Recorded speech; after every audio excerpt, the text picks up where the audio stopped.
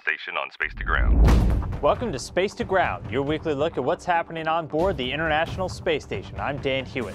Two spacewalks around the horizon, and there's a lot of work to be done before anyone heads out the door. NASA astronauts Scott Kelly and Kjell Lindgren are gearing up for spacewalks on October 28th and November 6th, and the onboard crew spent much of the week getting the duo's suits and tools together. The first time spacewalkers plan to use the time they've spent getting accustomed to life in microgravity to their advantage.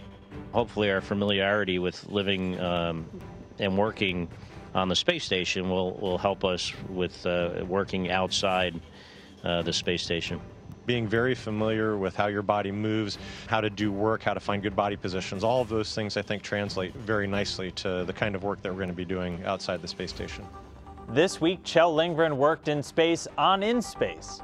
Well, it's called the InSpace 3 experiment, and it's studying how magnetic colloidal fluids arrange themselves in microgravity.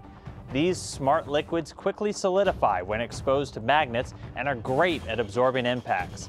They're already found in shock absorbers in race cars, and they're now being tested to help stabilize buildings in areas that get a lot of earthquakes.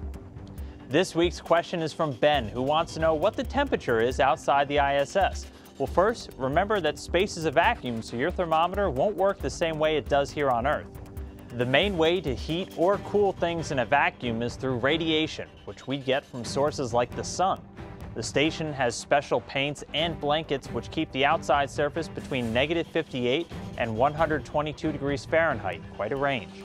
But without special protection, materials like metal orbiting Earth can get as hot as 500 degrees Fahrenheit.